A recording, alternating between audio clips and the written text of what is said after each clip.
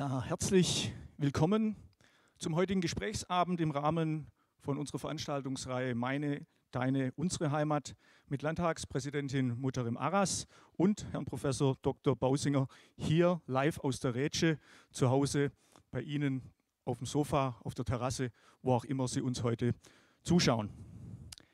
Seit 6. Juni findet nun das Projekt Meine, Deine, Unsere Heimat im Landkreis Göppingen statt. Die ursprüngliche Wanderausstellung Flucht, Punkt, Punkt, Punkt, ist in einem kunstpädagogischen Integrationsprojekt des Stadtjugendrings Herrenberg e.V. unter der Schirmherrschaft von Ministerpräsident Winfried Kretschmann entstanden. Und darauf baut meine, deine, unsere Heimat auf und geht der Frage nach, Heimat, was ist das für mich? Viele Programmpunkte bieten Raum für Austausch und Begegnung, soweit Corona-bedingt eben möglich. Durch verschiedene Formate wie Workshops, Vorträge, Diskussionsrunden wie heute hier oder auch Mitmachaktionen. Denn Integration fördern und Zusammenarbeit stärken sind im Landkreis zentrale Themen. Auch online war jede Menge geboten in den letzten Wochen. Diese Beiträge können Sie auch heute noch nachschauen auf, Homepage, auf der Homepage der Volkshochschule zum Beispiel oder eben auch auf Facebook oder auf YouTube. Eine Kunstausstellung und ein Programm über zwei Wochen, eine in Göppingen, eine in Geislingen wurden gestaltet, die die Themen Zusammenleben, Integration und Vielfalt erleb- und sichtbar machen und das in zumeist digitalen Formaten. Die Kunstausstellung, an der sich die Bevölkerung im Landkreis mit Mailartbeiträgen zahlreich beteiligt hat, ist im Übrigen noch morgen also Freitag von 13 bis 17 Uhr in der Geislinger Fußgängerzone im Baumeisterhaus direkt neben der Buchhandlung Ziegler zu sehen. Heute Abend freue ich mich, hier Frau Landtagspräsidentin Mutarem Aras begrüßen zu dürfen, die Sie hier neben mir auf der Bühne sehen können. Frau Aras ist Tochter alevitischer Kurden, die in der Türkei geboren und mit zwölf Jahren nach Deutschland gekommen ist. In Stuttgart aufgewachsen, ein Studium der Wirtschaftswissenschaften, danach Steuerberaterin und seit 2011 Abgeordnete des Landtags Baden-Württemberg für Bündnis 90 Die Grünen. Seit 2016 schon ist Frau Arras die erste Frau im Amt der Landtagspräsidentin und die erste Migrantin in dieser Position. Das hätte ich jetzt vielleicht nicht unbedingt erwähnt, aber im Rahmen des heutigen Themas sicher auch das erwähnenswert. Zu unserem zweiten Gast heute Abend, Herr Professor Bausinger, Dr. Bausinger. Er ist Germanist und emeritierter Professor für Volkskunde an der Universität Tübingen, baute seinen Lehrstuhl zum Ludwig-Uhland-Institut für empirische Kulturwissenschaft aus und war dessen langjähriger Direktor. Seine persönlichen Schwerpunkte sind unter anderem Alltagskultur, Kultur- und Sozialgeschichte und Landeskunde. Ja, und als Moderator für den heutigen Abend darf ich Sie begrüßen, Herr Professor Weber. Sie sind stellvertretender Direktor der Landeszentrale für politische Bildung Baden-Württemberg und Zeithistoriker an der Universität Tübingen mit Schwerpunkt auf Geschichte und politische Kultur des Südwestens im 20. Jahrhundert. Im Programm des Projekts Meine, Deine, Unsere Heimat steht zum heutigen Abend geschrieben, zwei bedeutende Persönlichkeiten kommen ins Gespräch über einen strapazierten wie umstrittenen Begriff, Heimat. Mit Frau Arras und Herrn Bausinger haben wir diese Persönlichkeiten nun heute da und sind gespannt auf Ihre Diskussion und Ihren Austausch über die Bedeutung von Heimat in einer Gesellschaft der Vielfalt, wie wir sie hier haben, über Verschiedenheiten und Zugehörigkeiten, über die Bedeutung des Grundgesetzes als Fundament, über Demokratie und Parlamentarismus und über Zusammenhalt. Darauf freue ich mich nun und ich denke auch die zugeschalteten und interessierten Menschen daheim. Ich wünsche uns allen einen informativen und interessanten Abend, der sicher auch Denkanstöße geben kann. Ihnen dreien an der Stelle auf jeden Fall auch nochmal mein persönlicher Dank für Ihr heutiges Kommen und auch der Dank der Veranstalterinnen und Veranstalter von unserer Reihe Meine, Deine, Unsere Heimat, die dann am Freitag, also morgen, ihren Abschluss finden wird. Nun mache ich die Bühne frei für eine Diskussion, der hoffentlich sehr viele zu Hause folgen werden und bin gespannt auf Ihre Diskussionen hier auf der Bühne. Dankeschön. Ja, sehr geehrter Herr Oberbürgermeister, ganz herzlichen Dank für die freundliche Einführung. Sehr geehrte Damen und Herren an den Endgeräten draußen. Wir sitzen hier live und in Farbe zur besten Zeit. Äh, Sie schauen uns zu, von wo immer aus Sie auch mögen. Und wir freuen uns sehr darauf oder wir freuen uns sehr darüber, dass Sie dabei sind. Vielleicht noch eine kleine Bemerkung zum Verfahren. Sie haben die Möglichkeit, an Ihren Laptops oder Handys, Smartphones, Tablets äh, Fragen zu, zu stellen im Chat. Und ähm, wenn Sie eine im Laufe unseres Gespräches auch, also wir müssen nicht bis zum Ende des Gespräches warten, wenn Sie eine Frage haben, die Ihnen unter den Nägeln brennt, mit Bezug zu dem, was wir hier besprechen, schreiben Sie es in den Chat. Ich bekomme dann hier von der Regie einen Wink und äh, wir werden dann versuchen, die eine oder andere Frage in unser Gespräch zu integrieren. Frau Aras, Herr Bausinger, herzlich willkommen. Schön, dass Sie beide zusammen sind. Sie sind nicht das erste Mal zusammen bei einer Veranstaltung. Äh, Sie kennen sich seit äh, einigen Jahren schon und Sie haben zusammen dieses wunderbare Buch gemacht, Heimat kann die weg. Ein kleines, aber feines Buch zum Thema, das ich auch nur, so viel Zeit muss sein, für einen kleinen Werbeblock nur wärmstens empfehlen kann, weil sehr viele Aspekte zum Thema auch drin sind. Frau Aras, Heimat, kann die wirklich weg? Ähm, Erstmal, lieber Herr Professor Weber, vielen Dank für die freundliche Begrüßung und natürlich an den Oberbürgermeister. Ich freue mich wirklich sehr, mit Ihnen, lieber Professor Bausinger, heute Abend wieder gemeinsam diskutieren zu dürfen. Und ich freue mich, dass wir ähm, hier uns physisch treffen können, auch wenn die Gäste leider nicht dabei sind. Aber es ist einfach schön, wieder unter die Menschen zu kommen und vor allem mit so einem besonderen Menschen wie Herrn Professor Bausinger diskutieren zu dürfen. Zu Ihrer Frage, Heimat kann die weg, ist ja die Frage, wie, welches Verhältnis man zur Heimat hat.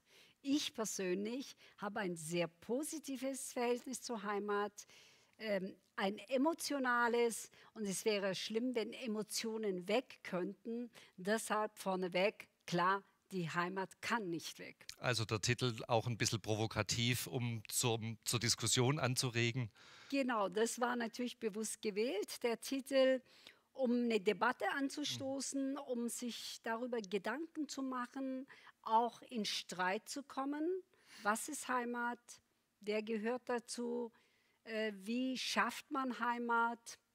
Wie gibt man Heimat? Kann man Heimat teilen? Ist Heimat überhaupt etwas, was man anfassen und andiskutieren sollte? Es gibt ja genügend Leute, die sagen, oh Gott, Heimat ganz heikel, ganz heikel. Lass die Finger davon. Äh, und deshalb ist es ganz wichtig, dass wir uns diesem Thema widmen. Und äh, ich finde es eben ganz wichtig, dass wir darüber uns ernsthaft austauschen. Und für mich ist es eben ein positiv besetzter Begriff. Und deshalb möchte ich diese Debatte und bin froh, dass ich das mit Professor Bausinger machen konnte, ähm, weil es einfach wichtig ist, weil Heimat auch für mich Orientierung geben kann. Und ähm, ich würde mal behaupten, ich glaube, Sie haben ganz wesentlich dazu beigetragen, Herr Professor Bausinger, dass der Heimatbegriff überhaupt entstaubt, gelüftet würde, wurde, würde ich mal sagen. Das, äh, aber ich bin nicht der Einzige. Also aber ganz wesentlich hier. Ja, ja also mal nicht so viel Bescheidenheit. ähm, äh, Herr Oberbürgermeister Dehmer hat ja auch schon von einem strapazierten Begriff gesprochen. Sie sprechen von einem Begriff, der Emotionen auslöst. Herr Bausinger, Sie haben ziemlich genau vor 50 Jahren im Frühsommer 1971 ähm, an der Universität Tübingen das Fach empirische Kulturwissenschaft begründet. Äh, dieses Jubiläum wird auch ähm, dieses Jahr gefeiert, 50 Jahre Ludwig-Uhland-Institut ähm, in Tübingen. Und Sie haben sich über diese 50 Jahre und darüber hinaus auch immer wieder mit Heimat beschäftigt. Äh, mich interessieren zwei Dinge. Erstens, was hat Sie denn selber an dem Begriff Heimat fasziniert? Und dann stelle ich mir die Frage, wie nähert man sich denn als Kulturwissenschaftler wissenschaftlich einem Begriff, der, der so emotional besetzt ist, der ja in vielerlei Hinsicht gar nicht zu greifen ist. Wie geht man als Wissenschaftler damit um? Also ich bin in Heimat äh, gar nicht vorbeigekommen, äh, denn es gibt ja, in, äh, es gab in der Schule das Fach Heimatkunde, es gab die Heimatforscher überall, es gab die, die Heimatbücher, es gab dann relativ bald auch schon die Heimattage, äh, wo also die Heimat eigentlich ein bisschen äh, luftig hochstilisiert wurde. Also zum Teil war im Grunde genommen das Interesse an Heimat auch dadurch bedingt, dass man ein bisschen misstrauisch gegenüber diesem Begriff war. Also wenn äh, an den Heimattagen die Heimatredner aufgetreten sind, Heimatgedichte vorgetragen haben, äh, die Chöre haben Heimatlieder gesungen, die Leute sind Heimattracht gekommen, da waren manchmal die Heimat fast zu viel und man hat sich dann gefragt, ja, was steckt eigentlich dahinter? Äh, ist es wirklich nur eine äußerliche, äh, ja, eine, eine Darstellung, nach einer Inszenierung nach außen äh, oder steckt mehr dahinter? Und äh, insofern war das eigentlich immer ein Thema, ein Thema, das auch über die Spezialisierung die es ja in unserem Fach gab, also äh, Märchenforschung, Hausforschung, Trachtenforschung, Kleidungsforschung, da, da könnte man eine ganze Reihe aufzählen. Aber das Stichwort Heimat hat über diese Spezialisierung, über diese Aufteilung hinausgeführt und hat eigentlich ins Zentrum unserer Fragestellungen geführt. Wenn ich es recht weiß, wurden die Heimattage Baden-Württemberg 1982 das erste Mal durchgeführt. Ich wollte jetzt aber nicht die Hand für ins Feuer legen für, das, äh, für die Jahreszahl.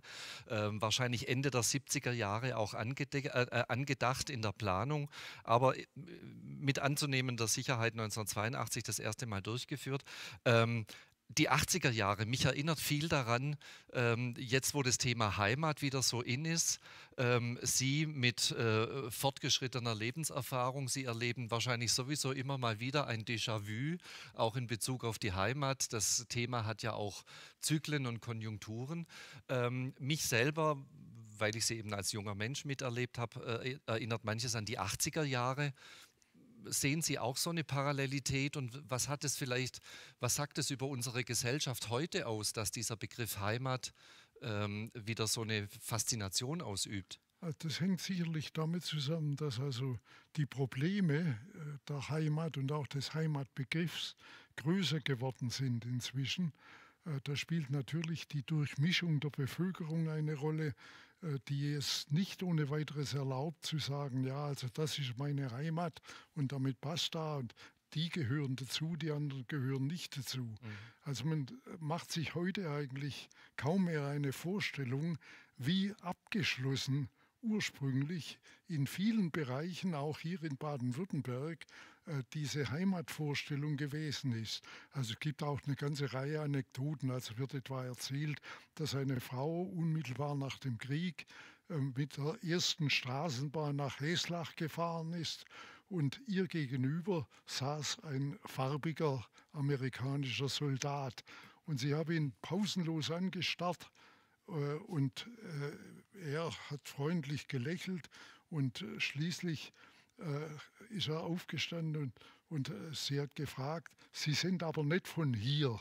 Und er hat gesagt, nein, äh, er konnte also Deutsch, er sei Amerikaner.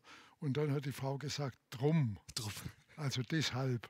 Äh, und so gibt es also eine ganze Reihe von Geschichten.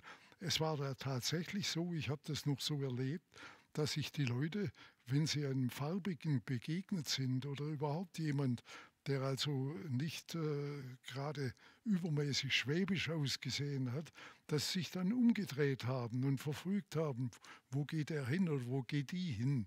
Äh, äh, Im Grunde genommen war das doch eine damals noch relativ homogene, also gleichförmige Gesellschaft.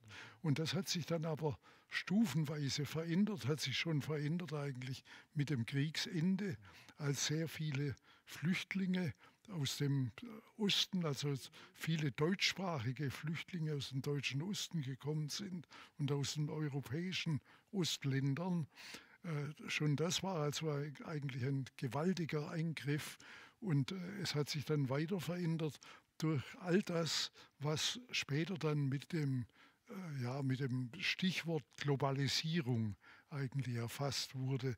Und äh, dieses Stichwort Globalisierung ist zwar insofern übertrieben, als es immer noch Leute gibt, die quasi außerhalb dieser Globalisierung le leben, die also auch die, die ganzen technischen Vorzüge der Globalisierung überhaupt nicht kennen.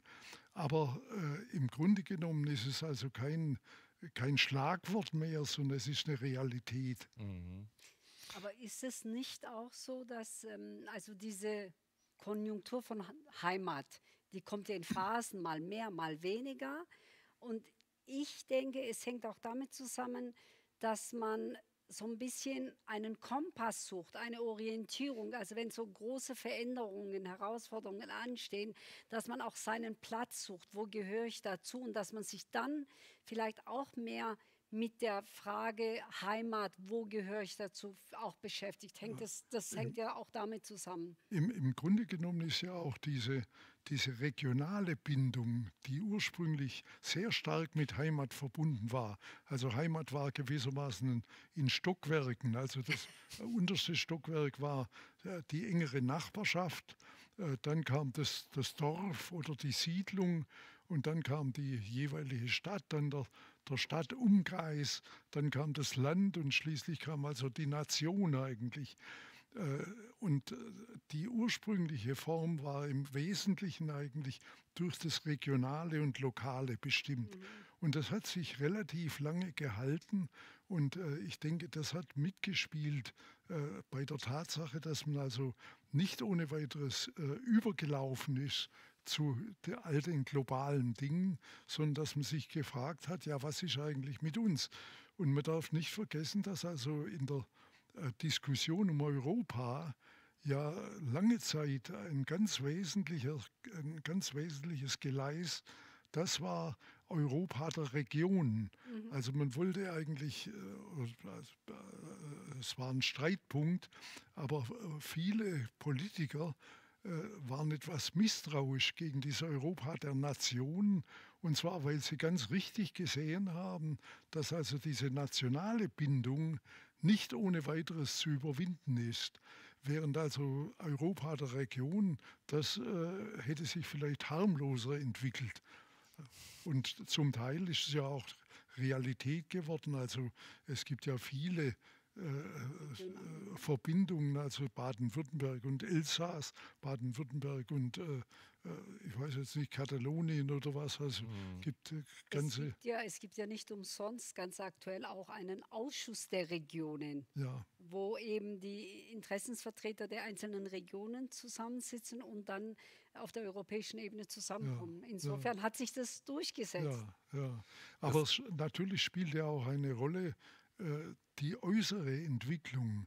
Also äh, wenn man hier in Baden-Württemberg von, von der Entstehung dieses Heimatbewusstseins oder der Konsolidierung des Heimatbewusstseins redet, dann kommt, dann geht einem sofort Wiel durch den Kopf. Mhm. Also der Gedanke, mhm. dass äh, in, äh, im Südwesten von Baden-Württemberg ein Atomkraftwerk entstehen sollte und dass sich plötzlich die Leute besonnen haben, was kommt da auf uns zu und wie leben wir, wie leben wir, lebten wir bisher und wie wollen wir in Zukunft leben. Mhm. Und äh, solche Aktionen, die gab es ja also äh, nicht nur in Baden-Württemberg, die gab es ja deutschlandweit immer wieder, dass sich die Leute auf ihre eigene Heimat besonnen haben. Und da kam auch erstmals dieser Begriff wieder in sehr positiver Form mhm. auf. Ja, ich denke, das ist der Bezug auch zu den 70er und 80er Jahren. Äh, seit Mitte der 70er Jahre etwa haben wir diese erste große Welle der Globalisierung, mhm. eine Verunsicherung, äh, NATO-Doppelbeschluss, Kalter Krieg, äh, Umweltzerstörung, neue Technologien. Also da gibt es schon viel Parallelitäten auch zu, zur Entwicklung der, der letzten Jahre natürlich. Frau Arras, wir haben, ähm, oder auch an Sie beide gerichtet, wir haben ja auch einen Heimatminister, auf, zumindest auf Bundesebene, auf Landesebene. Äh, äh, kam es jetzt nach den Koalitionsverhandlungen nicht zu einem Heimatministerium, aber auf Bundesebene haben wir einen. Und der hat kürzlich ähm, äh, vor wenigen Monaten eine Studie veranlasst ähm, und da sollte gefragt werden, wie heimatverbunden sind denn die Menschen in Deutschland. Und diese Studie hat die Jacobs University in Bremen mit einem Forscherteam durchgeführt. Ich finde es eine sehr interessante und lesenswerte Studie, die man natürlich auch im Internet findet. Und bei dieser Studie kommt als Ergebnis heraus, dass äh, Baden-Württemberg bei dem Thema Heimatverbundenheit an vierter Stelle liegt vor Bayern wohlgemerkt. Und an erster Stelle liegt das Saarland. Das äh, finde ich auch ganz interessant, dieses kleine Saarland. Und ganz hinten liegen Berlin Bundeshauptstadt Berlin und einige, das wäre sicherlich ein Thema für sich, einige Regionen in den äh, ostdeutschen äh, Bundesländern. Ähm, jetzt sagen aber die Baden-Württemberger, dass sie sich, dass das Wohlbefinden und die Heimatverbundenheit doch sehr stark ausgeprägt ist, äh, dass es aber, ähm, dass Heimatverbundenheit und Wohlbefinden aber vor allem mit dem sozialen Gefüge vor Ort zu tun hat. Und das ist ja, glaube ich, Frau Aras, vielleicht zunächst die Frage an Sie. Für die Politik eine große Herausforderung, ähm, ländliche Räume mitzunehmen, ähm, aufzupassen, dass bestimmte Regionen nicht abgehängt werden in mehrfachem Sinne. Äh, ich glaube, da hat die Politik noch Hausaufgaben zu tun. Ähm, wie, wie würden Sie denn diese Studie interpretieren? Also erstmal bin ich natürlich froh, dass wir nicht nur in der Frage, aber in der Frage Heimatverbundenheit vor Bayern liegen. ähm, die tun ja immer so, als ob sie überall die Weltmeister wären, aber wir sind einfach bescheidener, wir geben nicht so an mhm. äh, wie die Bayern. Aber das freut mich, weil Heimatverbundenheit wirklich wichtig ist. Denn Heimatverbundenheit ist für mich auch Identifikation mit der Region, mit den Gepflogenheiten man setzt sich ein für die Region. Es ist einem nicht egal, was um einen herum passiert. Also man fühlt sich als Teil des Ganzen. Deshalb ist es für die Politik erstmal ganz wichtig und ich freue mich wirklich, dass dieses Heimatgefühl, die Heimatverbundenheit da ist. Und natürlich gibt es auch, ähm, ich sage mal, Handlungsempfehlungen in gewisser Weise an die Politik, nämlich darauf zu achten, dass wir schauen, egal wo wir uns in Baden-Württemberg bewegen, in welcher Region auch immer, dass man Orte schafft, wo Menschen zusammenkommen, wo, denn man fühlt sich dort beheimatet, wo man auf Menschen zutreffen kann, wo ein Austausch stattfinden kann, wo man ins Gespräch kommt. Also beispielsweise, wenn ähm, die Dorfkneipe, die, das, die Dorfgaststätte äh, zumachen würde, das ist nicht nur ein individuelles privatwirtschaftliches Problem des Betriebsinhabers, sondern dann fehlt in dem Ort ein, eine ganz wichtige, oft eine, eine Stelle, wo man sich zentral begegnet, wo ausgetauscht wird. Ähm, und wenn das verloren gehen würde, dann ziehen sich ja immer mehr Leute zurück und dann fühlt man sich irgendwann mal auch abgehängt. Man trifft niemanden mehr. Die Postfiliale ist genauso wichtig oder Metzger, Bäcker und so weiter. Und ich glaube, wir müssen von der Politik her, wir können jetzt keine äh, Metzgerei betreiben oder ein äh, Gasthof oder so, aber wir können die Rahmenbedingungen so setzen, dass es dort tragbar wird. Äh, und da kann die Politik sehr viel machen. Und da spielt auch, das ist nicht nur eine Frage im ländlichen Raum, das ist in den Städten genauso. Wie gehe ich mit Wohnquartieren um? Wie, wenn man sich mit der Wohnsoziologie zum Beispiel beschäftigt, wie schaffe ich öffentliche Räume, wo Menschen zusammenkommen können, ohne unbedingt auch mal was zu konsumieren, sondern es entscheidend ist wirklich Begegnung der Menschen, weil wenn man sich nicht begegnet, wenn man sich nicht austauscht, dann vereinsamen wir, dann fühlen wir uns nicht mehr verbunden mit den anderen und dann geht, finde ich, auch die Seele eines Ortes verloren und das wiederherzustellen, das ist, glaube ich, ganz, ganz schwierig. Deshalb sind wir als Politik gut beraten, wirklich die Rahmenbedingungen zu setzen, dass Menschen sich dort ja, beheimatet fühlen und nicht einen, ähm, einen, Grund haben, okay, wenn ich alleine bin, dann gucke ich ja, okay, wenn ich ja keine Heimat, keine, kein Zugehörigkeitsgefühl habe, dann wandere ich ja eher weg. Und darum geht es auch. der Soziologe Hartmut Rosa hat das Heimat als Resonanzraum genannt. Ne? Ähm, genau. Ein, ein, sehr schöner äh, Begriff, äh, vielleicht kommen wir da nachher noch dazu. Aber ich hatte erwähnt, Herr Bausinger, dass an erster Stelle bei dieser Umfrage oder bei dieser Studie zum Thema Heimatverbundenheit äh, von unserem Heimatminister Horst Seehofer an erster Stelle das Saarland gelandet ist. Das finde ich schon mal ganz bemerkenswert. Ich meine, wir wissen, da gibt es guten Wein und gutes Essen und es ist natürlich eine wunderschöne Landschaft. Und aber worauf ich hinaus will, wenn wir jetzt nach Baden-Württemberg schauen, dann wurde in dieser Studie auch nach einzelnen Regionen untergliedert. Und wir stellen fest, dass die höchste Heimatverbundenheit zum Beispiel in den Grenzregionen zu Frankreich ähm, äh, nachgewiesen wurde ähm, oder zum Beispiel auch in Ostwürttemberg. Ähm, wo, Sie ja geboren sind, Sie sind gebürtiger also, Ahlener. Man, man, könnte ja jetzt sagen, äh, das hängt beides mit Grenzregionen zusammen. Ja. Das spricht auch für das Saarland. Mhm. Äh, und Ostwürttemberg grenzt an Bayern. Aber das, das wäre vielleicht also ein bisschen kühn, das so zu begründen. Äh, ich weiß es nicht, warum Ostalb, die Ostalb da so äh, günstig wegkommt. Ich finde überhaupt also diese Untersuchung finde ich hochinteressant.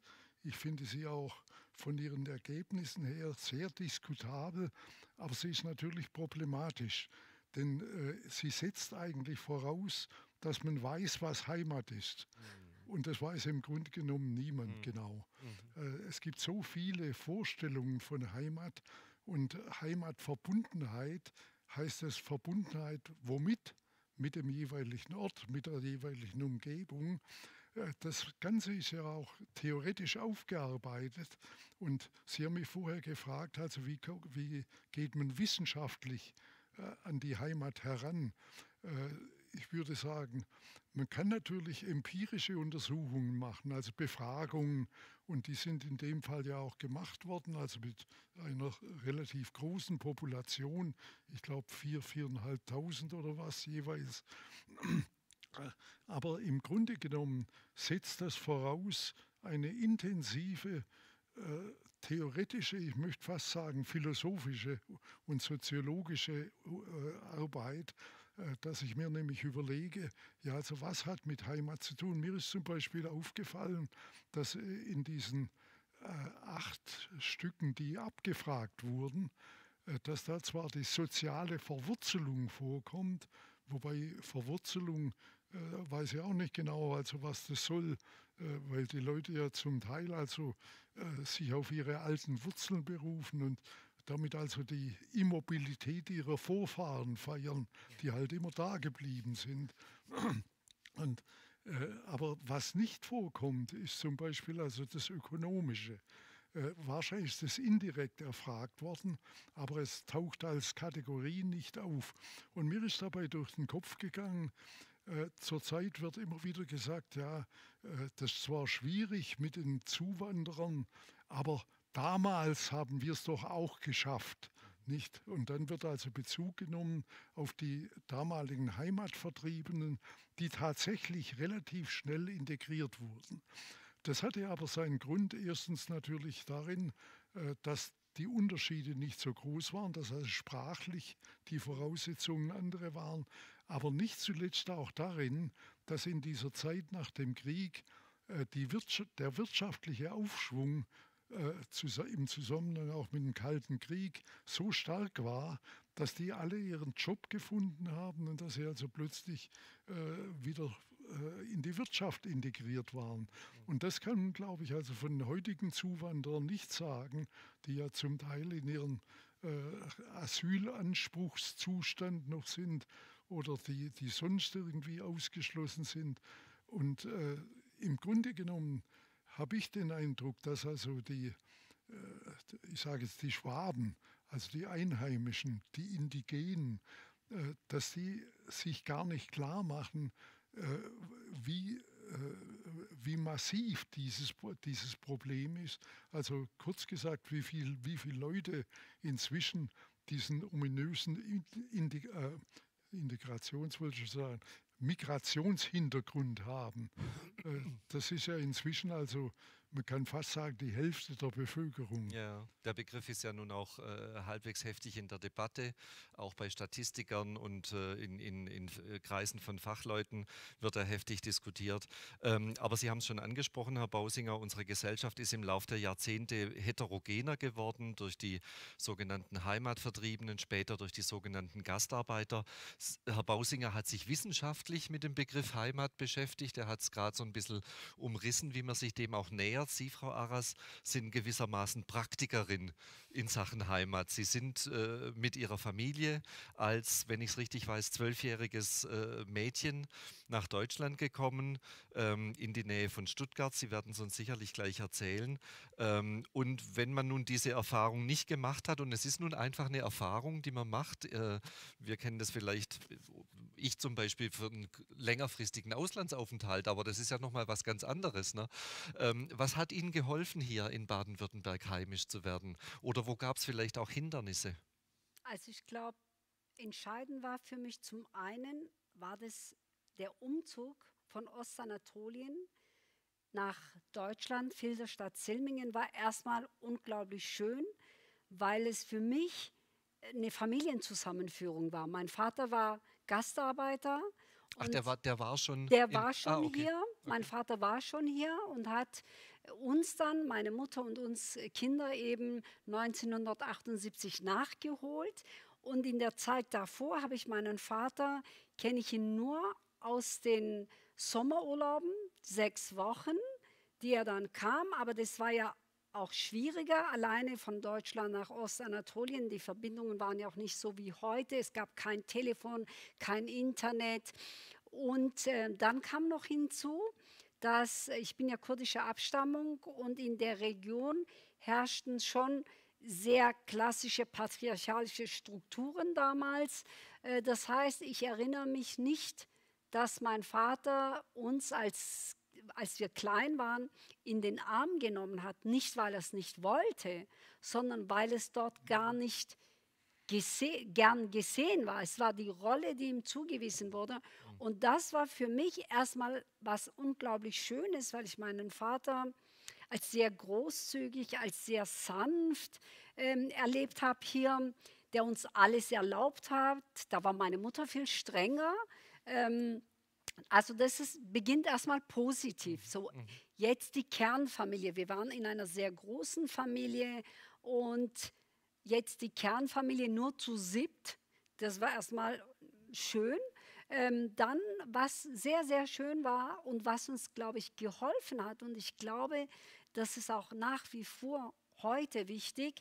Erstens waren meine Eltern sehr offen für die deutsche Gesellschaft. Und zwar auch pragmatisch.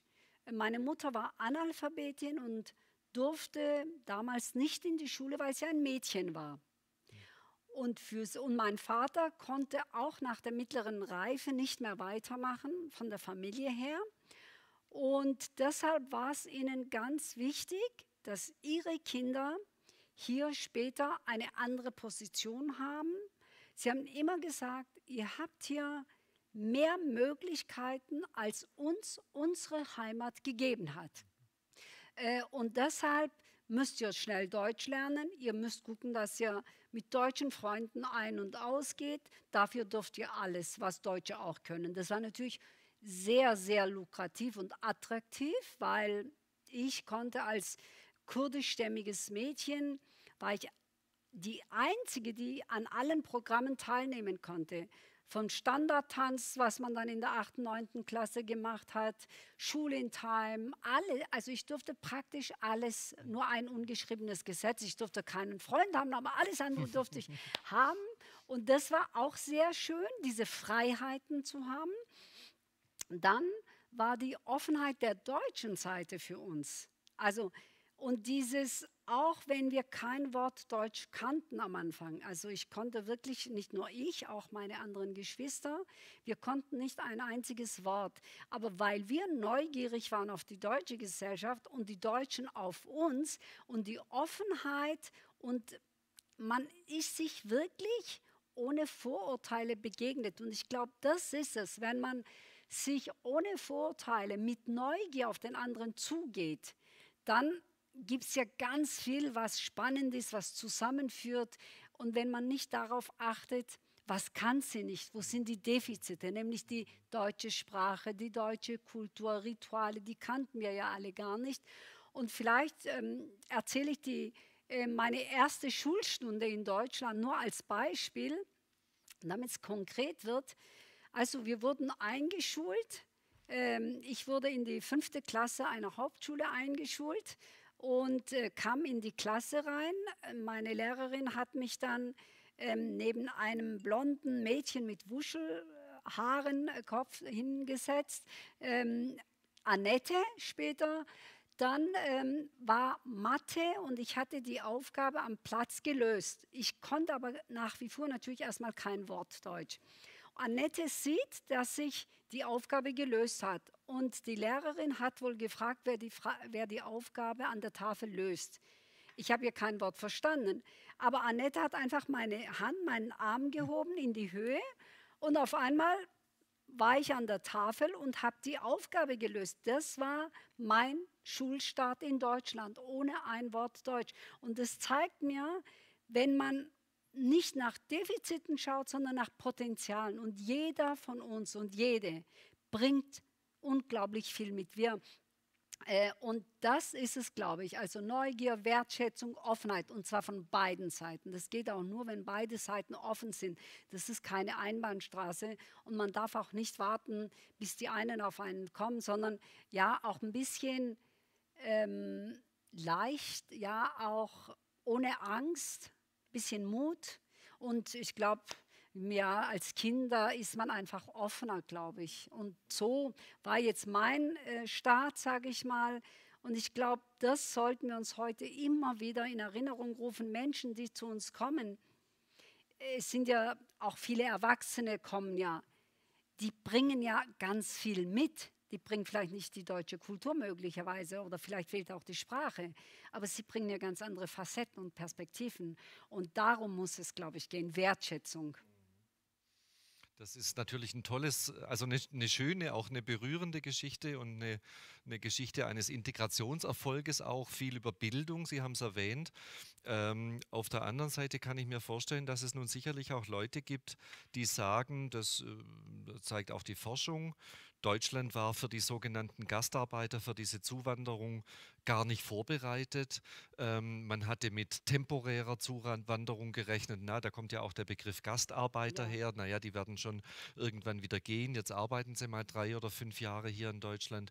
Ähm, und wenn man es auf die aktuelle Situation bezieht, dann wird es mit Sicherheit auch viele Leute geben, die sagen, ja, aber. Schönes Beispiel, aber wir wissen aus vielen Studien, Menschen mit Zuwanderungsgeschichte werden immer noch diskriminiert, haben Nachteile in, der, in, in gesellschaftlicher Hinsicht, aber vor allem auch bei solchen Themen wie Bildung, ähm, Wohnungsmarkt, Arbeitsplatzsuche, Ausbildungsplatzsuche und so weiter und so fort. Da hat doch die Politik noch richtig Hausaufgaben. Richtig, also Sie haben natürlich vollkommen recht. Ich hatte einfach, glaube ich, auch viel Glück. Das ist, das geht vielen Menschen so. Ich bin nicht die Einzige, die dieses Glück hatte. Aber wir können uns als Staat, sollten wir uns nicht darauf verlassen, wie viel Glück jemand hat oder zufällig irgendwo hin, sondern wir müssen gucken, dass wir Strukturen, dass wir Zugänge so öffnen, dass tatsächlich alle Kinder, unabhängig von der sozialen Herkunft, tatsächlich eine Chance haben, später, also über eine Bildung, später hier ein selbstbestimmtes Leben zu führen. Und das ist zum einen für das Individuum selber wichtig, für jede einzelne Person ist es wichtig. Auf der anderen Seite glaube ich, ist es auch wichtig, wenn ich, als, wenn ich ein selbstbestimmtes Leben führen kann, dann fühle ich mich viel mehr als Teil des Ganzen. Ich identifiziere mich mit den Werten dieser Gesellschaft und darum muss es gehen. Auch für die Demokratie ist es ganz arg wichtig. Und natürlich, deshalb müssen wir schauen, dass wir die Strukturen ändern. Es gab vor zwei Jahren maximal eine Studie und ich fand es wirklich erschreckend. Da wurden junge Pädagoginnen, wurden Diktate vorgelegt, eine Studie, und zwar einmal mit klassisch türkisch oder arabischen Namen, also Murat Ali Ayşe und das gleiche Diktat mit der gleichen Fehlerzahl mit klassisch deutschen Namen. Annette, Hans, Georg, was weiß ich. So. Und erschreckenderweise haben diese junge angehende Pädagoginnen und Pädagogen den Kindern mit den klassischen ausländischen Namen eine Note schlechter bewertet. Und da kriege ich wirklich, äh, das ist ein Schock und ich kriege da wirklich Gänsehaut, was nimmt man diesen Kindern für Bildungschancen weg und das zeigt die Ungerechtigkeit. Und deshalb müssen wir, glaube ich, das Thema Heterogenität, was heißt Vielfalt, was heißt eine heterogene ähm, Gesellschaft, das müssen wir viel stärker in der Ausbildung der Lehrerinnen und Lehrer annehmen. Wir müssen an Schulen mehr mit multiprofessionellen Teams arbeiten, also Schulsozialarbeiter, Psychologen, andere Berufsgruppen reinnehmen. Und ich gehe auch so weit, dass ich sage, wir müssen schauen, dass beispielsweise Schulen an besonderen Orten mit besonderen mit einer besonderen Schülerschaft, die extrem heterogen ist, die vielleicht auch weniger Unterstützung von zu Hause hat. Und da geht es deutschen Kindern genauso wie Kindern aus den Einwandererfamilien. Also wenn nicht der Bildungsbürgertum als Elternteil im Hintergrund ist. Ich finde, da müssen wir diese Schulen mit besonderen Ressourcen ausstatten, damit diese Kinder tatsächlich eine Chance bekommen. Und da hat die Politik einiges gemacht in den letzten Jahren. Auch Ausbau von Ganztagesschulen finde ich zum Beispiel wichtig.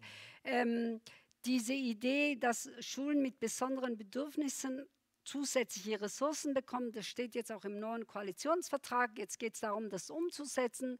Aber ich glaube, in die Richtung muss man gehen, weil es, wie gesagt, für den Zusammenhalt der Gesellschaft, für die Demokratie entscheidend ist, dass wir wirklich möglichst alle mitnehmen, dass wir ihnen das Gefühl geben, ja, sie sind wichtig, sie sind ein Teil der Gesellschaft, wir sehen euch und wir setzen die Rahmenbedingungen so, dass ihr auch euch als Teil des Ganzen fühlt. Ja. Und das ist, glaube ich, ganz entscheidend. Ja. Es ist ein sehr komplexes Thema. Sie haben einige Punkte davon angeschnitten. Herr Bausinger, haben Sie, Sie haben es vorher auch schon äh, mal kurz angesprochen, die unterschiedlichen ähm, oder chronologischen Entwicklungen in der Geschichte der Zuwanderung in der Bundesrepublik hat natürlich auch das Thema Heimat verändert. Ähm, seit ein paar Jahren gibt es im Duden zum Beispiel die Heimat als Plural. Macht es Sinn, von der Heimat, von den, Heim, von den Heimaten also zu sprechen? Es, äh, im Grunde genommen ist es äh, eine Verspätung der Sprachpolitik. Denn, äh, de, äh, denn, in der Realität äh, ist es längst so, dass also äh, dass nicht mehr nur die eine Heimat gibt. Man kann das natürlich also ironisch zunächst sehen. Gerhard Pult, ein Kabarettist, hat mal gesagt, die, die stärkste Heimatverbundenheit ist das das Bausparbuch äh, für die Zweitwohnung in der Toskana. Also es gibt natürlich also diese gehobenen Bedürfnisse, äh, die auch mit Heimaten zu tun hat. Aber im Grunde genommen ist es so, dass also die Leute ja doch sehr stark durcheinander geworfen werden. Und das ändert natürlich vieles an, an der Beziehung zur Heimat und macht im Grunde genommen auch die, äh, die Möglichkeiten, mit Heimat umzugehen, äh, sehr viel pluraler, also sehr viel vielfältiger. Ähm, man kann das auch in der, äh, neuerdings sehr häufig in der Literatur verfolgen. Also da gibt es etwa den Roman von der Judith Herrmann, der, der hat den Titel Daheim. Mhm. Und man denkt, naja, daheim und so weiter. Der handelt aber äh, von einer Person, die äh, äh, Aphasie hat, also die nicht, nicht mehr reden kann und äh, die nun von der Großstadt in Berlin äh, an die, an die äh, Ost- oder Nordsee, das weiß ich nicht mehr, zieht und die, die sich dort zurechtfindet und die dort eigentlich sowas wie eine neue Heimat findet. Auf der anderen Seite gibt es ein Buch von fällt mir jetzt nicht ein, äh, doch Verena Boos, das ist eine Rottweilerin, äh, und die hat ein Buch geschrieben, äh, das heißt Kirchberg. Kirchberg ist ein, ein Ort, der sehr schwäbisch ausgerichtet ist und geschildert wird, wie eine Frau, die ihren Mann in die Wüste geschickt hat, aber jetzt nicht mehr zurechtkommt allein, wie die in ihr Heimatort, also in ihren Geburtsort zieht und wie sie sich dort wieder einfügt, zum Teil ist sie völlig befremdet, weil sie das nicht mehr gewohnt ist, aber sie, sie lernt dann wieder gewissermaßen also in diese alten Verhältnisse einzutreten. Und dann gibt es äh, zum Beispiel von der Muti Sanya, das ist eine Kulturwissenschaftlerin, gibt es auch einen Roman. Wie heißt der? Die Ident Identity. Bitte? Identity, Identity, ja. Mhm. Wobei Identity natürlich mit Identität zu tun hat, mhm. aber es ist ein Name, mhm. äh, der darin vorkommt. Und diese äh, äh, Sanja, die betont, die, äh, so, schreibt, so ähnlich schreibt sie mal, die, die, äh, die unglaubliche Mischung der Herkünfte in unserer Gesellschaft. Äh, es ist, das wird ja eigentlich sehr stark unterschätzt, wie, wie groß das Durcheinander bereits ist. Also, äh, und das betrifft eben nicht nur diese Extreme, wo also nun äh, was weiß ich, also irgendwelche äh, durch, durch Scheidungen und Trennungen und so weiter, äh, also kreuz und quer geheiratet oder nicht geheiratet wird, sondern das betrifft auch ganz einfache Dinge, nämlich also die, die Mischehen. Wenn man früher von Mischehen gesprochen hat, dann waren gemein Katholiken und Evangelische. Mhm. und das hat sich längst verlagert. Also man, es gibt wahrscheinlich allmählich äh, ich würde nicht sagen gleich viel, aber, aber vermutlich äh, wenig, äh, wenig weniger als gleich viel. Äh, Mischehen im Vergleich mit also äh, denen, wo sich also zwei Einheimische oder zwei Zuwanderer heiraten. Ja, das ist ja immer auch so ein, so ein Lackmustest ein Stück weit für Integration, ähm, ob das, also die, die, die, die Wissenschaftler sprechen vom Konnubialverhalten, also vom Heiratsverhalten. Gibt es Heiratsverhalten zwischen Zugewanderten und Alteingesessenen? Mhm. Und das gilt natürlich ein bisschen als Lackmustest. Und gilt, ähm, gilt übrigens für beide Geschlechter. Also es, äh, es ist nicht so, dass also nur türkische Männer deutsche Frauen heiraten, sondern es geht also kreuz, kreuz und quer. Ja. Und interessant natürlich auch, das bestätigt ein bisschen unsere These von vorher, dass es eigentlich wieder so einen neuen Heimatroman gibt. Das, der wird zwar nicht so genannt, mhm. aber äh, wie Sie gesagt haben, es gibt ganz tolle neue Beispiele, ähm, wo dieses Thema Heimat, Herkunft, Identität literarisch verhandelt wird. Das aber bleiben wir nochmal, Herr, Herr Bausinger hat es gerade so schön das wilde Durcheinander genannt. Äh, und, und er meint es natürlich im positiven Sinne, ähm, Frau Aras. Aber unbestritten ist es ja so, dass unsere Gesellschaft diverser geworden ist, heterogener geworden ist, vielleicht auch noch diverser wird, ähm, äh, sich immer kleinere, man nennt es Blasen oder auch Gruppen bilden, die sich einzelne Identitäten suchen. Ähm, die, die, die, das Thema der Landesregierung ist auch der Zusammenhalt wie schaffen wir den Zusammenhalt zu bewahren? Ich glaube, wir leben ja in einer insgesamt recht friedvollen Gesellschaft, aber es macht, man muss sich schon bisweilen auch Sorgen machen um den Zusammenhalt. Ähm, ja, also ich bin froh, dass der noch relativ groß ist, aber trotzdem müssen wir den im Blick behalten und schauen, wie wir den stärken.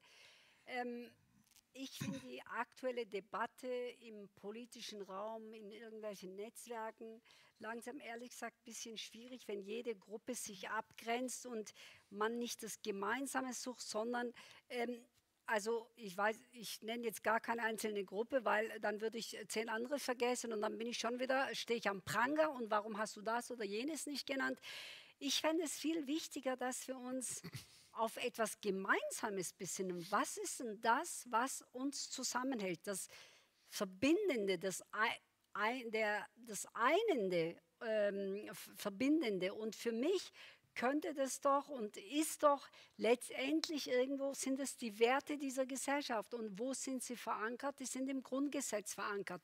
Das heißt, für mich ist das Grundgesetz irgendwie, ich sage es mal ein bisschen flapsig, äh, Art Hausordnung. Also ich meine, jede Beziehung, jede Gruppe, jeder Verein braucht doch irgendwelche Regeln, wie man sich organisiert. Und für mich sind die gemeinsamen Fundamente, ist das Grundgesetz, dort ist es geregelt und das Fundament ist eigentlich stabil und es lässt ganz viele unterschiedliche Lebensstile und Entwürfe zu.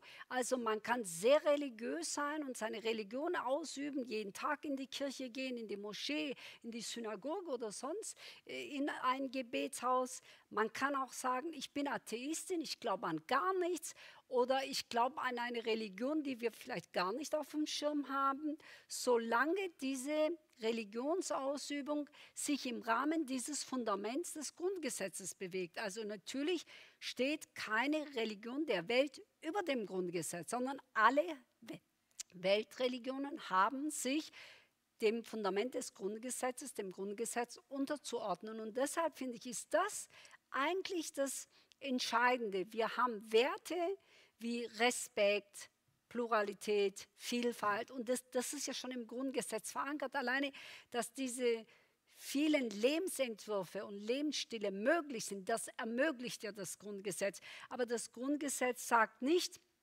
jeder kann in dieser Gesellschaft tun und machen, was er will. Also Freiheit heißt nicht äh, quasi dieses ja egoistische, jeder macht, was er will, sondern Freiheit und Verantwortung zum Beispiel sind zwei Seiten einer Medaille. Äh, und deshalb ist für mich das Grundgesetz so ein Kompass, der uns eine Richtung gibt.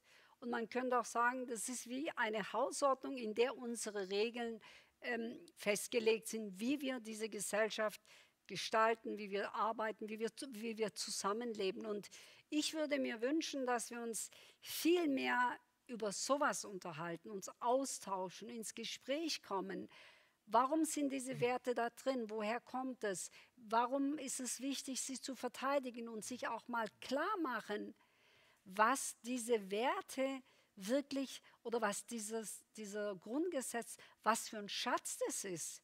Äh, und ich finde, wir, weil es uns trotz aller Herausforderungen, ich will es gar nicht, wir haben auch Probleme, gar keine Frage, aber trotzdem leben wir seit über 70 Jahren glücklicherweise in Frieden. Uns geht es relativ gut. Wir haben einen Sozialstaat. Wir haben vor allem eine funktionierende Demokratie, auch wenn wir nicht alles ähm, toll machen. Aber es ist auf jeden Fall eine funktionierende Demokratie und die gilt es auch zu verteidigen. Und da würde ich mir mehr eine Debatte wünschen, über dieses Verbindende, als zu sagen, ich bin das, ich bin das, ich bin, wir machen 100.000 Schubladen auf und nachher suchen wir nur noch das Trennende. Ja, das wird ja gerade, bitte, Herr Bausinger. Äh, äh, keinerlei Widerspruch, im Gegenteil. Aber äh, ich wollte darauf hinweisen, äh, Sie haben vorher Hartmut Rosa zitiert mit Resonanzraum Heimat. Äh, aber man muss sich im Klaren sein, und da wird die, die Geschichte schwierig und kompliziert, äh, dass es auch andere Resonanzräume gibt, äh, die inzwischen doch ein großes Gewicht haben. Also das sind auf der einen Seite die Resonanzräume einer sich entwickelnden Parallelgesellschaft in mancher Hinsicht. Also Leute, die, denen es genug ist, in ihrer äh, in Verbindung mit ihren äh, gemeinsamen Herkunftsgenossen zu leben. Und es ist auf der anderen Seite ja auch dieser äh, etwas unbegreifliche Resonanzraum, in dem vor allen Dingen junge Leute leben, die also ihre, ihre Twitters loslassen äh, und äh, ihre äh, gegenseitig also ihre, ihre Botschaften austauschen äh, ohne dass eigentlich irgendetwas dahinter steckt. Also im Grunde genommen ein, ein sehr, äh, eine sehr äh, leere Resonanz, die hier mhm. zum Ausdruck kommt. Und ich denke, das erschwert etwas, also die ganzen äh, Bemühungen um, um Konsolidierung von Heimat, was auch immer das sei. Äh, ich wollte noch bloß eine Kleinigkeit anmerken. Äh, Sie haben sehr stark von der Schule gesprochen, auch im Zusammenhang mit Ihrer eigenen äh, Entwicklung. Äh, ich denke, das, es fängt früher an. Also ich glaube, dass also die Kitas ja. außerordentlich wichtig sind, zum Teil auch äh, geradezu im Gegensatz zu den Eltern nicht? Weil die, die Kinder natürlich sehr stark, also bereits im Kindesalter, ja, an ihrer Peer Group, also an den Gleichaltrigen hängen und begeistert sind, dass sie dort also sich anders bewegen und benehmen können. Also das scheint mir also ein ganz, ganz wichtiger, äh, ganz wichtige Eingangspforte zu sein. Ja, auf jeden Fall, auf jeden Fall, ja. Ich möchte, ähm, einen Punkt würde ich ganz gerne noch mit Ihnen ansprechen, bevor wir dann noch schnell zu einem anderen mhm. Block kommen könnten, an dem wir nicht vorbeikommen. Ähm, aber vielleicht noch mal kurz zu dem Thema, Sie haben es äh, äh, angesprochen oder wir haben es gehört, strapazierter Begriff Heimat, ähm, sogenannte Identitätspolitik, wo die tausend Schubladen verhandelt werden, die da aufgemacht wird, sozial, kulturell, ethnisch, äh, sexuelle Orientierung, was auch immer. Ähm, äh, trotzdem ist für viele der Heimatbegriff ein toxischer Begriff und vielleicht ähm, mit, mit der Bitte um eine relativ kurze Antwort, dass wir noch zum anderen Block kommen, vielleicht kurz die Frage, äh, Frau Arras, was machen wir, was, was müssen wir tun, damit der Heimatbegriff nicht von der extremen Rechten besetzt wird, von der diese Identitätspolitik ja im Grunde ausgeht? Ne? Ich wünsche mir, dass wir darüber einfach wirklich Debatten ähm, anstoßen, dass wir offen darüber auch gerne in Streit gehen. Streit ist ja nicht per se was Schlechtes. Und für mich ist der Heimatbegriff, mein Heimatbegriff ist ein offener, der einladen ist, ähm, der, wo ich sage, wer sich mit den Werten dieser Gesellschaft identifiziert, wer seinen Teil dazu bei, der hat auch einen Platz, der kann hier Heimat finden. Und da ist ganz viel Wertschätzung, Zugehörigkeit, Austausch. Und ich glaube, wenn man den so anpackt und mir ist auch wichtig, weil Heimat eine Orientierung, einen Kompass geben kann, Heimat ist mit Emotionen äh, äh, verbunden. Und wir sollten nicht die vor lauter Angst und Scheu, das könnte von anderen, von Rechten quasi als ausgrenzender, ausschließender Begriff verwendet werden, deshalb die Finger davon lassen. Das sollten wir nicht tun, weil dafür ähm, ist es zu wichtig, denn die Leute beschäftigen sich damit. Genauso finde ich auch die Farben Schwarz-Rot-Gold. Das sollten wir auch nicht den Rechten überlassen. Wenn man sich mit der Geschichte Deutschlands auseinandersetzt, dann sind es die Farben des Aufbruchs der Demokratie und so weiter. Deshalb ist es schon, glaube ich, wichtig, dass wir darüber ins Gespräch kommen. Ja, darum haben Sie es auch gewählt auf dem gemeinsamen Buch, diese Farben Schwarz-Rot-Gold. Herr Bausinger, was ich auf jeden Fall noch ansprechen wollte, wir kommen dann so langsam auch zum Ende unseres Gespräches, aber wir können an dem Thema Corona-Pandemie nicht vorbei. Äh, die beherrscht uns nun seit anderthalb Jahren. Ähm, ich würde mit Ihnen ganz gern anfangen, Herr Bausinger. Sie haben einiges erlebt. Sie haben den Zweiten Weltkrieg erlebt, Sie haben den Aufbau der Bundesrepublik erlebt, Sie haben diese lange Phase des Wohlstandes, des relativen oder auch tatsächlichen Wohlstandes erlebt, aber sowas wie die Pandemie jetzt wahrscheinlich noch nicht. Ähm, wie hat es denn Ihr Verhältnis zum Thema Heimat verändert? Also man, man wurde ja, es war ja wie ein Schockzustand und äh, äh, als die Pandemie begann und man wird ja praktisch zurückgeworfen auf sich selber und denkt vielleicht über das ein oder andere, vielleicht auch über das Thema Heimat. Also ich glaube, es gibt zwei gegensätzliche Entwicklungen. Auf der einen Seite äh, war man ja nicht nur auf sich selbst zurückgeworfen, sondern im Grunde genommen auch auf einen engeren Bezirk, mhm. der plötzlich bedeutender und wichtiger geworden ist. Mhm. Und äh, glücklicherweise äh, konnte man weitgehend verfolgen, dass heißt zum Beispiel die Alten oder wir Alten äh, äh, äh, im Grunde genommen uns darauf verlassen konnten, dass also von den Jüngeren auch geholfen wird, wo das notwendig war.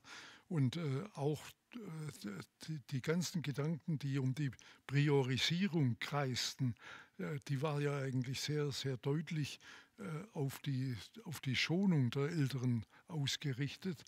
Und äh, ich denke, das waren im Grunde genommen äh, Maßstäbe und auch Aktionen, die so etwas wie ein heimatliches Gefühl eher gestärkt haben. Okay. Das ist die eine Seite. Auf der anderen Seite, Sie haben das vorher gesagt, man braucht Räume, wo man sich begegnet, wo man also ja. zusammen ist und so weiter. Und äh, im Grunde genommen ist das, was für uns äh, selbstverständlich geworden ist, äh, also dass man sich im, dass man einkauft im örtlichen Laden. Äh, das ist teilweise ja nicht nur durch Verbote zurückgegangen, sondern einfach deshalb, weil die Leute gesagt haben, ja Gott, also die Paketdienste, die bringen das ja alles nicht. Äh, oder äh, das Vereinsleben. Also wenn, wenn es auch für jüngere Leute äh, nicht mehr möglich war, Sport zu treiben, nicht, dann ging damit auch eigentlich so ein Integrationsfaktor verloren. Denn also die, die Sportvereine es ist ja nicht nur so, dass da die Ronaldos eine Rolle spielen, sondern äh, in jedem kleinen Verein kann man nachsehen, dass da, äh, also da spielen dann auch die Vornamen keine Rolle. Also da, da spielt dann gerne ein Yildiz oder sowas und, und wird als Mittelstürmer anerkannt. Äh, das, das war, kann wirklich also ein Stück Integrationsmodell sein. Und so gibt es eine ganze Reihe von Dingen, die einfach also äh, das gesellschaftliche Leben äh, nicht nur durchmischt, sondern auch ein bisschen äh, der Erosion ausgesetzt haben. Und äh, man kann nur hoffen, dass das also äh, sich nicht zu lange hinzieht. Mhm. Frau Arras, wie ging es Ihnen persönlich? Äh, Thema Pandemiebeginn letztes Jahr im März, ähm, äh, vielleicht auch in der Verknüpfung zur Heimat und zum Politischen kommen dann vielleicht gleich auch noch kurz. Also ich würde es bestätigen, ja, der Heimatbegriff oder in der Realität ist einfach enger geworden. Ähm, man hat sich sehr stark auf sein sehr enges Umfeld konzentriert. Da gehört die Kernfamilie, also man war ja auch beschränkt, mit wem darf ich mich treffen.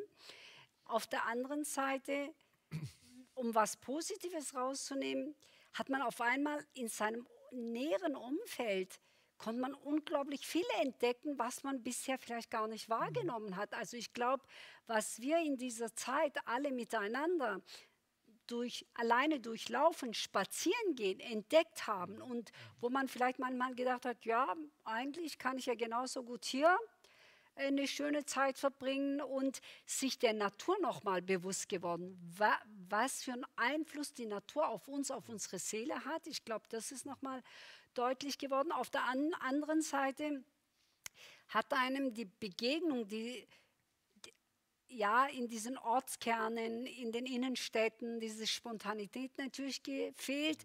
Und mit der Zeit wird diese Enge die am Anfang vielleicht schön ist. Man hat dann mehr Zeit für die Familie, man muss nicht weg, man kocht mehr zusammen. Das war erst wirklich auch was Angenehmes, ein angenehmes Nebenprodukt, sage ich mal. Aber je länger diese Phase ging, umso mehr hat einen diese Enge ehrlich gesagt auch fast erdrückt, weil man wieder raus wollte. Man wollte diese Spontanität, dass man sich richtig begrüßt, dass man sich umarmen kann.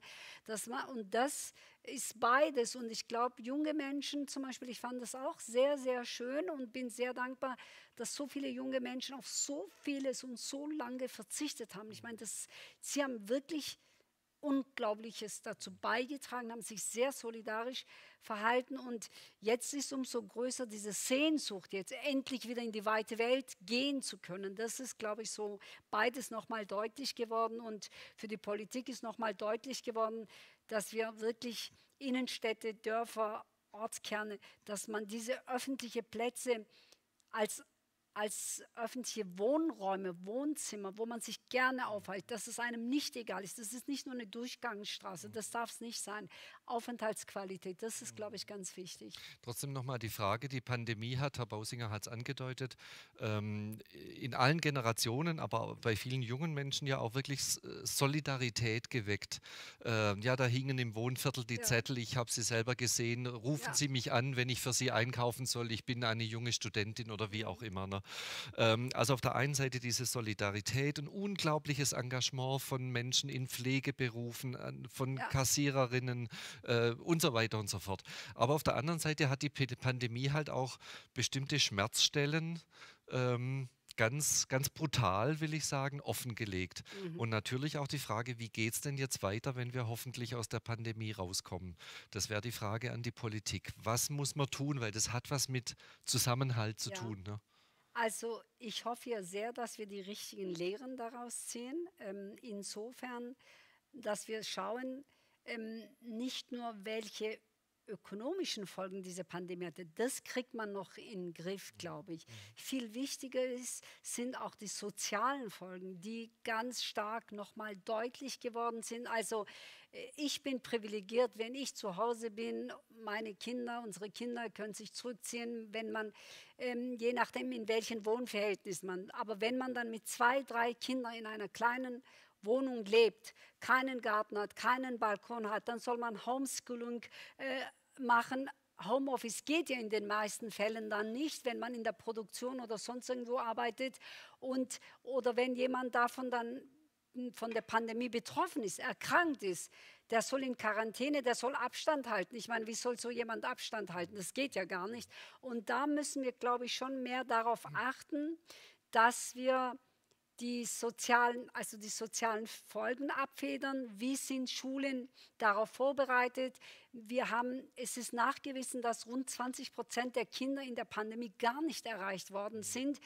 Die liegen jetzt nicht nur, also das Schulische kann man aufholen, also ähm, Wissenslücken, Lernlücken kann man aufholen, aber für mich ist viel spannender und viel wichtiger, was macht es mit der Seele, mit der Psyche dieser Kinder, dieser Familien, dieser Studentinnen und Studenten?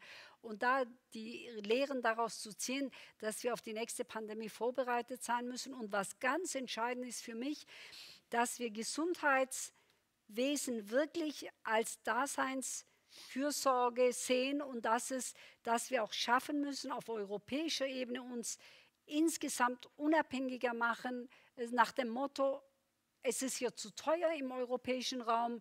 Einige wenige Firmen produzieren in China, und äh, wir sind äh, angefangen von ganz banalen, teilweise bestimmte Antibiotikas und sonstigem sind wir extrem abhängig. Ähm, also ich will jetzt nicht die nationalistische ähm, Mauer hochziehen, aber ich glaube, es ist einfach wichtig, dass wir sagen, Gesundheits ähm, äh, äh, Krankenhäuser, Gesundheitswesen insgesamt ist Daseinsfürsorge und da können wir nicht mit den harten Marktregularien durchgehen, äh, sondern da muss der Staat entsprechende Vorkehrungen treffen und da bin ich auch dafür, dass wir Forschung zum Beispiel, wir machen ja schon viel in Forschung, als öffentliche Gelder in die Forschung, dass wir da mehr gemeinsam auf der europäischen Ebene machen, was ich finde, gut gelungen ist, auch wenn die Impfbeschaffung nicht äh, optimal gelaufen ist, um diplomatisch auszudrücken, aber immerhin fand ich es gut,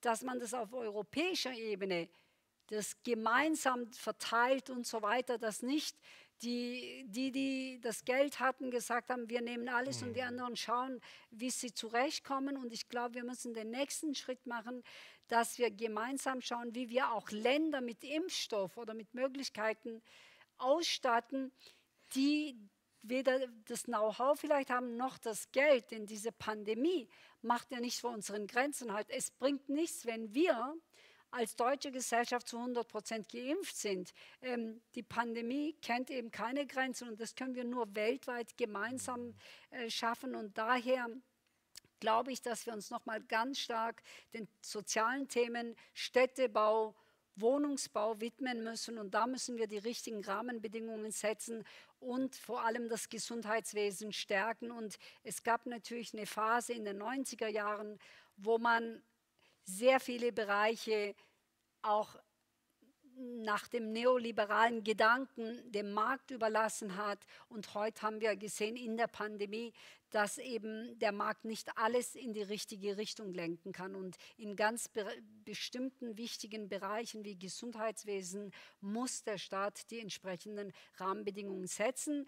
Und ähm, ich hoffe, dass wir in der Politik, und ich bin zuversichtlich, weil das wirklich von allen so gesehen wird, dass man, und ich würde mir wünschen, dass man über Parteigrenzen hinweg sagt, das war eine Pandemie weltweit, in der in unserer Geschichte zum ersten Mal mit dieser großen Herausforderung, solcher Herausforderungen äh, mussten wir alle kämpfen. Das war neu.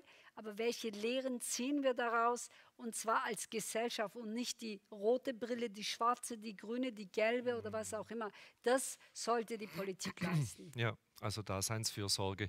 Ähm, ich genau, ich schaue schnell zur Regie äh, und kriege ein Zeichen. Es gibt eine Frage aus dem Publikum. Wir haben noch zwei Fragen aus dem Publikum. Genau. Die erste Frage ähm, wendet sich direkt an den Herrn Professor Bausinger. Ähm, wie weit, inwieweit verhindert die Sprachbarriere, heimatiert zu werden? Das ist interessant formuliert, aber vielleicht ist das mit Absicht so interessant formuliert. Ja, die, die Sprachbarriere, äh, man hat den Ausdruck ja früher vor allen Dingen verwendet, äh, wo es um Dialekt ging äh, und der, von der Schwierigkeit zur Hochsprache zu kommen. Aber natürlich spielt der Zugang von so vielen Menschen aus fremden Kulturen vor allen Dingen im sprachlichen Bereich eine große Rolle. Und äh, ich denke, äh, es hängt sehr viel davon ab, ob sich die ältere Generation unter den Zugewanderten äh, damit begnügt, ihren eigenen, sage ich es nochmal, Resonanzraum zu haben, also äh, untereinander äh, die eigene Sprache zu sprechen oder ob die Bereitschaft da ist, zumindest die nächsten Generationen äh, offen zu halten für die deutsche Sprache. Das ist eine, eine große Schwierigkeit. Es ist auch so, gelegentlich liest man dann, ja, in Stuttgart gibt es 140 Nationen oder ich weiß nicht genau wie viele, aber es sind jedenfalls über 100. Das, sind, das, bedeutet ja auch wahrscheinlich etwa 100 verschiedene Sprachen. Und man kann sich kaum vorstellen, dass also diese Sprachen sich erhalten werden. Äh, und äh, umso wichtiger wäre es, dass also die nächste Generation und die übernächste Generation, dass die tatsächlich sich durchringen und äh, in deutscher Sprache gefördert werden, so gut es irgend geht. Zum Teil ist es ja also in den Schulen schon angelegt, dass also besondere Betreuungen da sind, auch in sprachlicher Hinsicht. Aber es ist eine so große Aufgabe, dass, glaube ich, also da auch noch politische Weichenstellungen notwendig sind. Ja, und die hat man halt lange versäumt. Also es war ja, weil man eben davon ausging, dass es Gäste sind, die nach ein paar Jahren zurückgehen, hat ja die Politik, ich meine, ich sag mal 16 Jahre Kohl-Ära, der gesagt hat, wir sind kein Einwanderungsland. Ja. Es gab ja keine Strukturen, wo diese Menschen die Sprache erlernen konnten. Natürlich ist Sprache unglaublich wichtig, um den Zugang zu bekommen, aber man hat ja oft behauptet, die haben gar kein Interesse, also hat man gar keine Kurse angeboten. Wo, wo, wobei es zum Teil ja äh, so war. Also zum Teil haben die Gastarbeiter ja diesen Begriff und die Sache gerne akzeptiert, weil tatsächlich relativ viele äh, nach zwei, drei Jahren wieder zurückgegangen sind und das in erster Linie also als ein, eine Verdienstmöglichkeit betrachtet haben.